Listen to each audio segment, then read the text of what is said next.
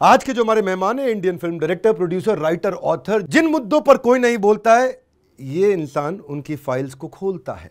हाँ, पर्दा हो या चर्चा ये बेबाक बोल डालते हैं। आज आपको मिलवाने जा रहे हैं जो कश्मीर का दर्द दिखाकर जिन्होंने पूरे भारत को रुलाया है। आज उन्हें हमने बड़ा भारत पर बुलाया है। Please welcome mister Vivek Agnihotri hello hi namaste. Namaste sir स्वागत है आपका। कुछ बाउंसर्स कुछ बीमर्स और थोड़ी थोड़ी स्पिन भी दूँगा मैं आपको बीच बीच में। आज आपसे जो चर्चा करना चाहते हैं पहला हम दोनों का एक ही नाम है विवेक।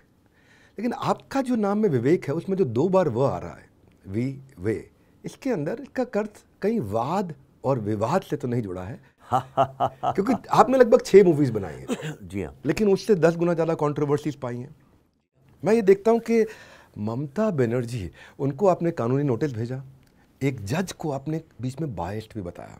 बाद में माफ़ी भी मांगनी पड़ी। शशि थरूर, प्रकाश राज, अनुराग कश्यप ट्विटर पे इनके साथ आपका काफ़ी चर्चा होता है। अलग अलग प्रकार का कुछ कड़वा, कुछ मीठा और कभी कभी ज़्यादा काफ़ी कड़वा। बॉलीवुड को आपने एक बार अंधा और बहरा भी कह दिया था। सुन करके मैं हैरान हुआ। ऑनलाइन हो या ऑफलाइन, आपने बहुत बनाई है हेडलाइन तो आप एक फ़िल्म मेकर हैं या आप एक कंट्रोवर्सी मेकर हैं? कला की जगह इतना कटाक्ष और कंट्रोवर्सी क्यों? हम सोचते हैं कि देश में शांति हो, पर कभी कभी ऐसी बातों से अशांति भी हो सकती है। तो विवेक जी, इसके विषय में क्या कहेंगे? देखिए कंट्रोवर्सी की जहाँ तक बात है कंट्रोवर्सी मैं तो नहीं क्रिएट करता हूँ। जो कंट्रोवर्सी क्रिएट करते हैं, वो बताएँ क्यों करते हैं? जैसे आप यहाँ बैठे हैं, अब आपने, आपकी शर्ट में लाल रंग भी लगा हुआ है और काला भी है। मैं कहूँ, नहीं, इसमें तो साहब ये लाल रंग जो है, इससे मैं बड़ा ऑफेंड हो रहा हूँ। तो ये ज़िम्मेदारी तो मेरे ऊपर है, मैं क्यों ऑफेंड हो रहा हूँ बताने की? या मैं कहता हूँ ये लाल नहीं तो नीला रंग है। बस कॉन्ट्रोवर्सी चालू। और कंट्रोवर्सी अब देखिए कंट्रोवर्सी तभी होती है जब उस कंट्रोवर्सी को एक प्लेटफॉर्म मिले। और आज social media media politics religion ऐसा कोई फ़ील्ड नहीं है दुनिया का जो कंट्रोवर्सी को आ, बहुत आदर से उसका स्वागत सत्कार ना करता हूँ। क्योंकि कंट्रोवर्सी से ही लोगों को लगता है कि उनकी जो वक़्त है जो उनकी जो आइडेंटिटी है जो उनकी रेपुटेशन उससे बनेगी। लोग उन्हें जान जाएँगे। मैं कभी कंट्रोवर्सी क्रिएट नहीं करता हूँ। दूसरी बात, जहाँ तक बॉलीवुड की बात है, या बाकी शशि थरूर या ममता बनर्जी, हो क्या गया कि भारत में ना पचहत्तर साल से हम लोगों ने किसी को आंट्रप्रन्योरशिप और लीडरशिप नहीं सिखाई है। हमने लोगों को स्वतंत्र दिमाग से ज़िंदा रहना नहीं सिखाया, हमने लोगों को टोपीबाजी सिखाई है। तो इसलिए क्या हो गया, सब लोग, आप देखिए इंडिया में कैसे बात करते हैं, जी मालिक, जी सेठ जी, मैं इसके बचपन से अगेंस्ट था।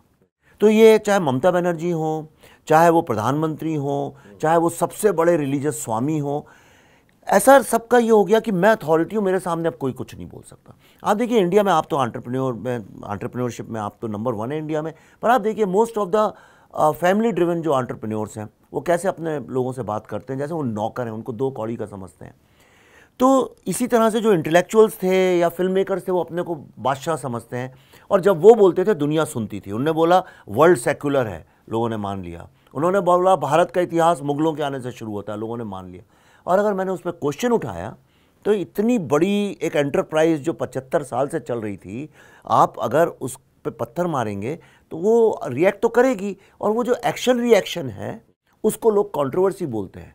मेरे हिसाब से वो एवोल्यूशन है।